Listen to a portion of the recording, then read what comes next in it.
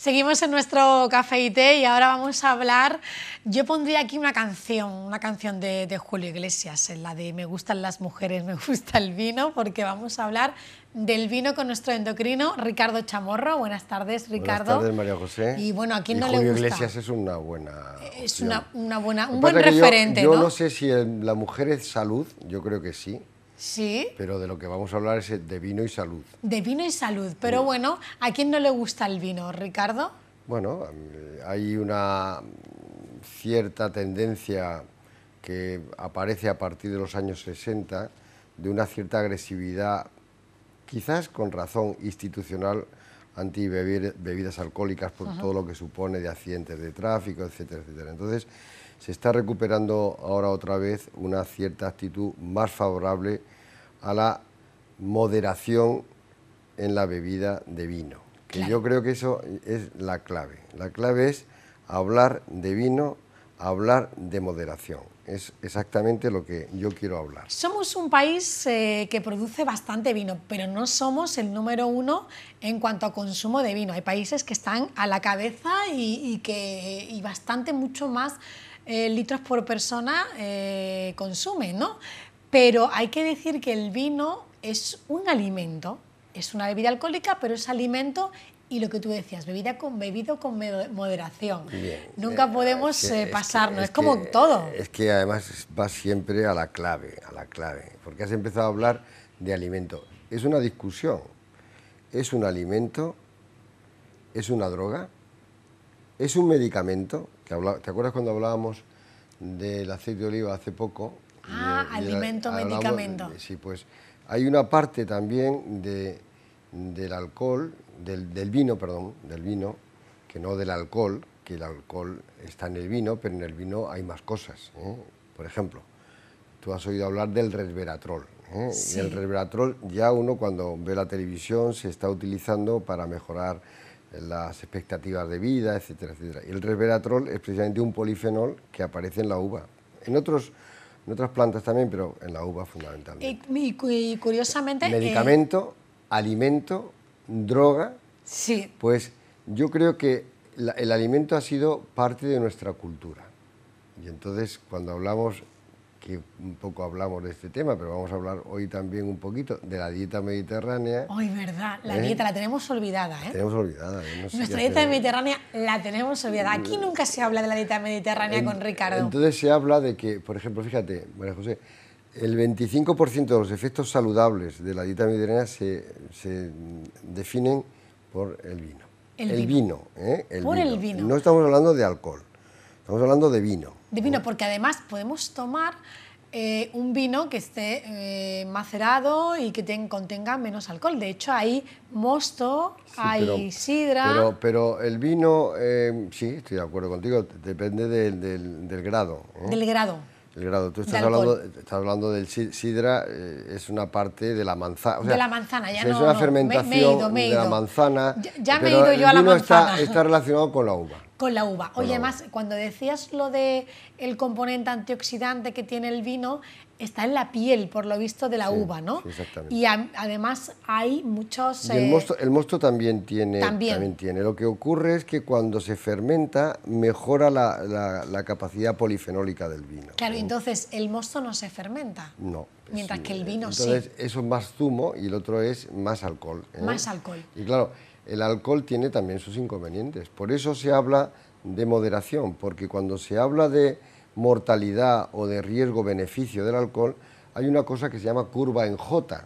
La curva en J es que empieza siendo así y luego se eleva una J, ¿eh? significa que el astemio tiene más mortalidad que el que bebe moderadamente, pero tiene mucha menos mortalidad que el que bebe mucho. O sea que esa es la famosa curva en J que se habla para los para las personas que tienen o sea, que, están tomando alcohol. O sea, que el astemio, el que no bebe nada, ¿eh? tiene menos o tiene más riesgos de mortalidad que el que bebe moderadamente. Que el que está abajo. Abajo. Que es el que está así ya, ¿no? Exactamente. Cuando ya empiezas a subir ya... Ya empiezas a tener muchos problemas. Por tanto, aquí lo más importante es hablar de gramos de alcohol. Gramos de alcohol que depende del grado de alcohol.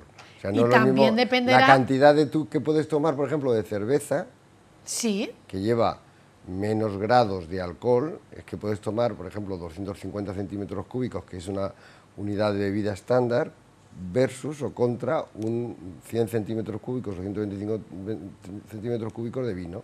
¿eh? Por eso cuando vas a, una, a un bar y te pides una copa de vino, te la ponen así y la caña te la ponen así. Exacto. Y esa es la unidad de bebida estándar. Más o menos de tres bebidas eh, al día, ¿eh? de tres bebidas al día en el hombre, de dos en la mujer. O sea que en realidad estamos hablando de una bebida moderada, moderada, muy moderada. Oye, eh, el vino nos ayuda moderadamente, siempre aquí vamos a, a, ser defensores de beberlo con moderación, igual que todo en la vida, lo que comemos y todo tiene que ser con moderación, ya sea un alimento sano o insano, como lo queremos llamar, todo con moderación. Eh, siempre se dice que es antioxidante, por lo del resve... ¿Cómo era? Resveratrol. Resveratrol, es que no me sale a mí la palabra. Que está en, eh, en, la, en, la, piel de la uva. Sí, pero hay más polifenoles. Hay más polifenoles. pasa lo mismo que con el aceite de oliva, o sea, ahora la investigación en efectos de los antioxidantes, que son fundamentalmente los polifenoles, que sirven también para defenderse de los radicales libres, que hablamos también en el aceite de oliva, a la planta, ¿eh? nos sirve a nosotros también para defendernos de la oxidación de todas las células.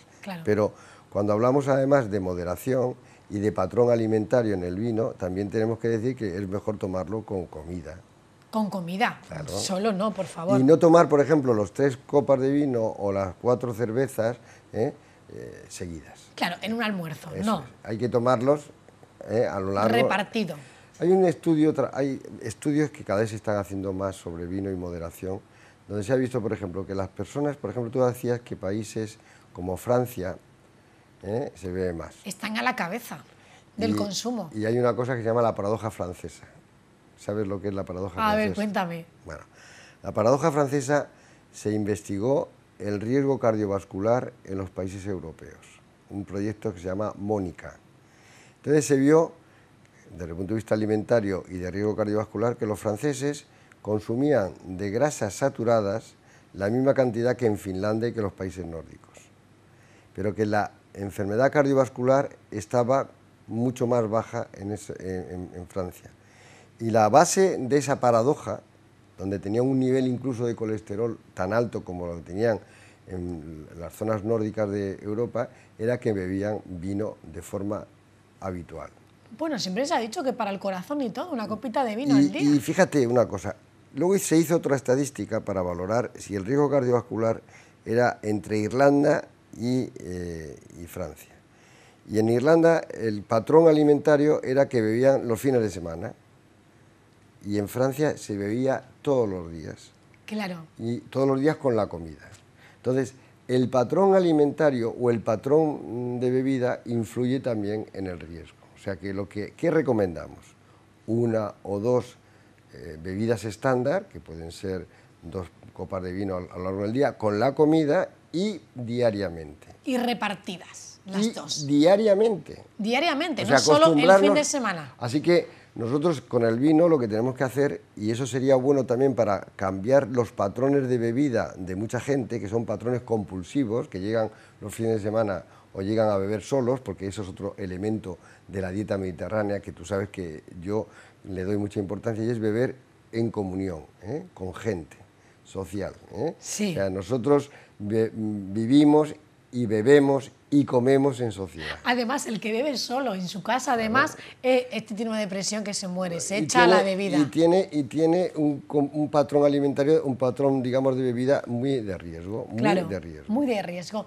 Por lo tanto, una o dos copitas al día, que es bueno para el antioxidante, para el tema de, dicen que para el corazón, porque ayuda a dilatar las... El alcohol, en todo caso, no solamente por los polifenoles, incluso el alcohol, eleva aquello que dijimos HDL, que son las lipoproteínas protectoras, la que hace que el colesterol salga de las arterias para llevarlo al hígado, como los quitanieves, ¿eh? como los quitanieves.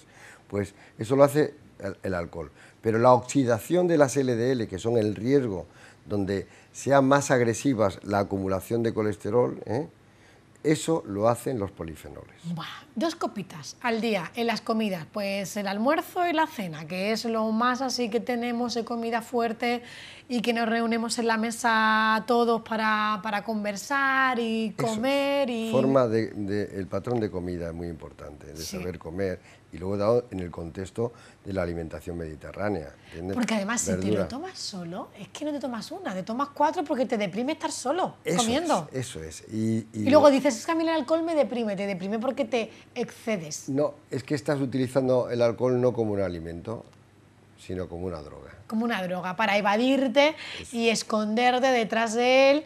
Y claro, al final fluye más todo lo malo. el alimento para mí es comunicación y comer es comunión. Y comunión es comunicación. ¿Vino blanco o vino tinto? Que eso no te he preguntado. Pues mira, blanco y tinto. Hay más, polifenoles, hay más polifenoles en el tinto. En el tinto. Si queremos conseguir... Pero, pero también tiene polifenoles el blanco. El blanco. Y el ¿Eh? rosado también. Está intermedio. Ahí, en mitad del camino. O sea, por eso te digo que depende, porque si tú te gusta tomar el vino y te gusta tomarlo miro con determinados alimentos, es positivo. Hay mucha gente, sabes que hay patrones también de eh, gastronomía y de culinaria desde el punto de vista alimentario y de vinos, que si el vino con el pescado, etcétera, vino fresquito. Ya según lo que vayas a beber esa, o comer ese mediodía o esa noche. Lo que se llama maridaje. Maridaje.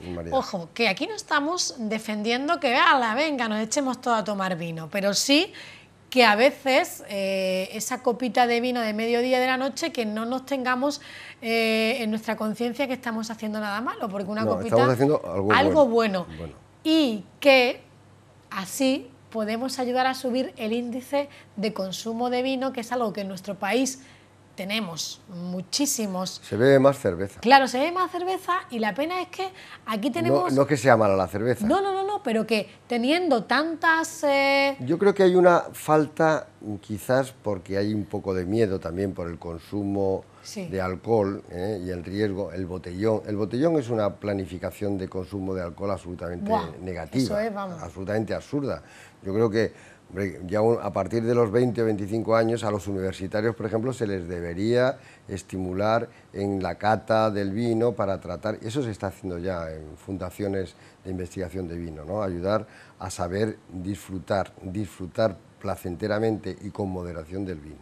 Pero teniendo tantas viñas en este país y tantas bodegas, y siendo uno de los mayores eh, productores de, de vino, vamos a ver si con esto podemos subir un poquito la tasa de consumo y ayudar. lo importante no es subir la tasa de consumo, sino como te he dicho, es el patrón de cómo se consume. El patrón de cómo se consume, yo creo que puede prevenir el patrón compulsivo de otras bebidas.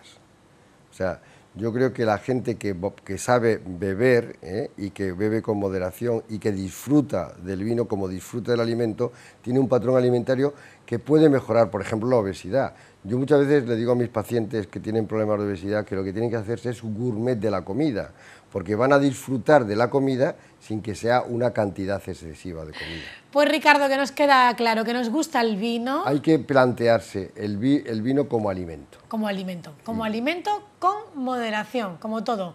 Porque tampoco podemos estar todo el día tomando tomates por muy sano que sea. Exactamente. Y luego hay comidas eh, que también tienen sus riesgos adictivos. Eh. sabes que hay determinadas bebidas, incluso que con una gran industria detrás, publicitaria que ha condicionado a veces conductas adictivas sobre determinados refrescos, etc. Sí, pues no, preferimos el vino.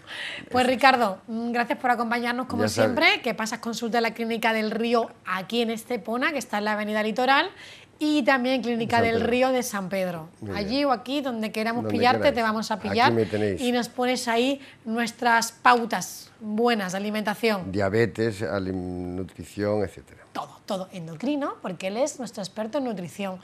Eh, nos vemos en un par de semanitas, ¿te parece? Muy bien. Con Ricardo terminamos hoy nuestro café y té, Ricardo Chamorro, endocrino, y volvemos mañana a la misma hora, a las 8 de la tarde. Hasta mañana.